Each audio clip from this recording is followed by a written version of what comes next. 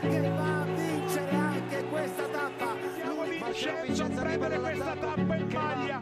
Ha vinto la Vuelta, ha vinto il Giro d'Italia.